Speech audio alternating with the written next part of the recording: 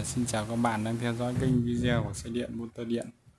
À, video hôm nay em à, à làm một cái video đấu điện và test thử cái bộ tời cho khách hàng.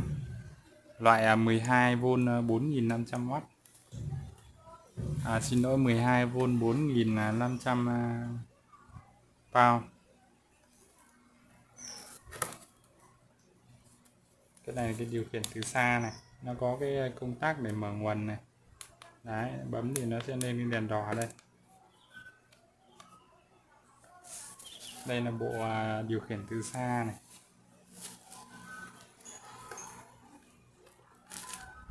Cái à, rắc này là rắc kết nối với lại cái à, thiết bị cầm điều khiển ở ngoài này. Đây, nó thiết bị này đây. Cái này thì nó có rắc này. Và nó có cái ờ, dây ờ, chống tuột này. Đấy. đây là out in này. Đây, bấm này lên xuống này. Cái phần dây à, cơ này thì à, mình cứ cắm vào đây là kết nối thôi.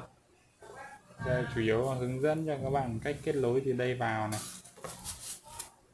Trên này nó ghi chữ M cộng này M cộng này M trừ này B cộng B trừ này. Đấy thì M là là ký hiệu đấu với motor. Còn B là ký hiệu với aqui B trừ B cộng B cộng và dương. Đây là cái bộ dây điện đi cho theo, đi kèm theo đây. Đấy. hai dây đỏ và hai dây đen. Hai dây à, ngắn là vào à, điều khiển động cơ. Còn hai dây dài là vào ắc quy.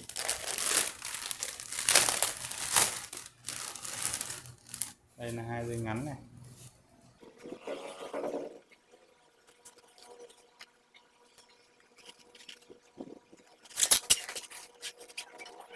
Cái tời này thì à, nó có cái bộ đế để bắt lên đây bốn con ốc đế để bắt tời lên này. Ở đây là cái giá đỡ của nó này. Đấy. phần uh, motor thì uh, đây là cái cực cộng cực trừ. B cộng là màu đỏ này. Đen đỏ này.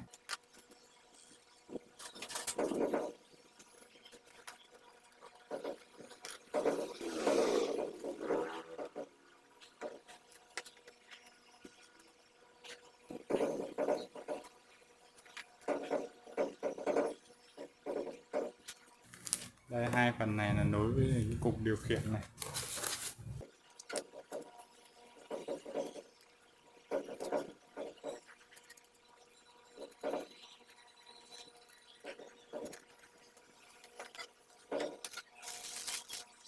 Hai cái cực dài này, dây dài nối với quy này.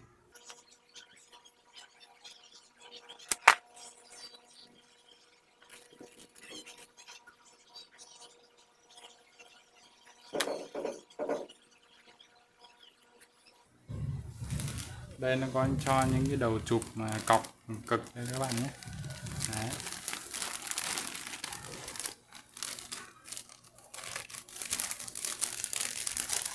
đây đây là chụp này, chụp cọc ở đây này.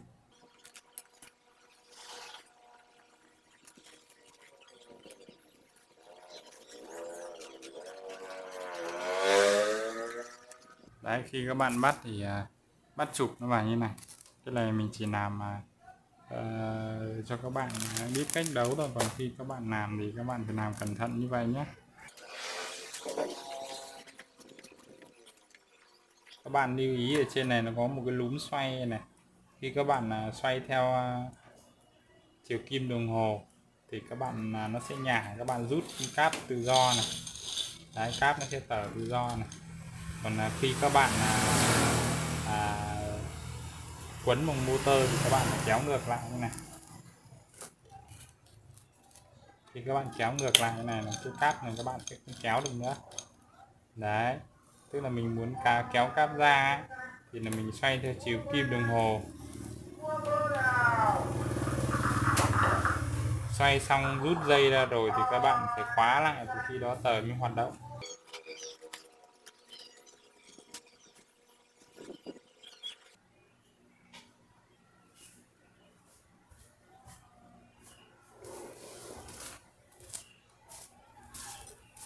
đây là phần à, đầu điện đấy nó quy này.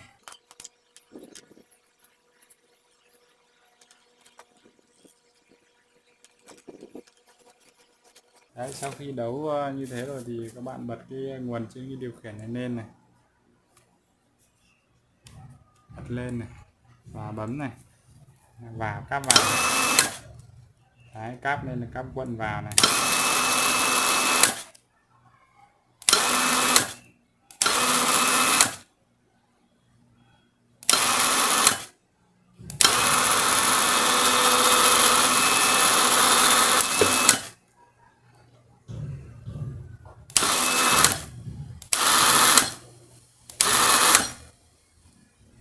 Cáp quấn vào. Còn là các bạn bấm ra là nó sẽ tở ra. Đấy thì khi à, các bạn lưu ý là là khi các bạn quấn ấy, thì à, nó sẽ chặt hơn. Còn đây mình làm tự do.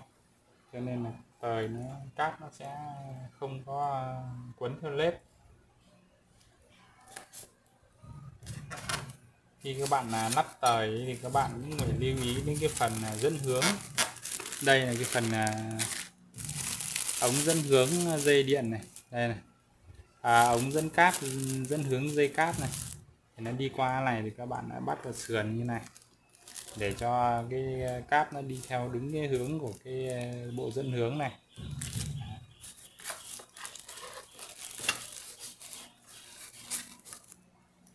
Đây là cái cầu trì này.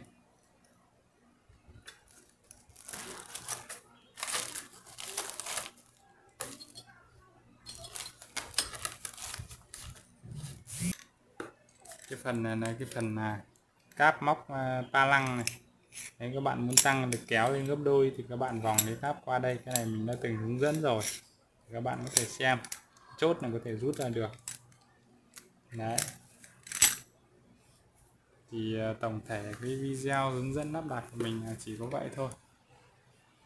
Về cái tải trọng của nó thì các bạn vui lòng xem à, ở phía sau cái phần video này thì sẽ có tổng tải trọng các thứ của nó thì mình sẽ đưa thêm các cái thông số riêng. À, cảm ơn các bạn đã theo dõi video.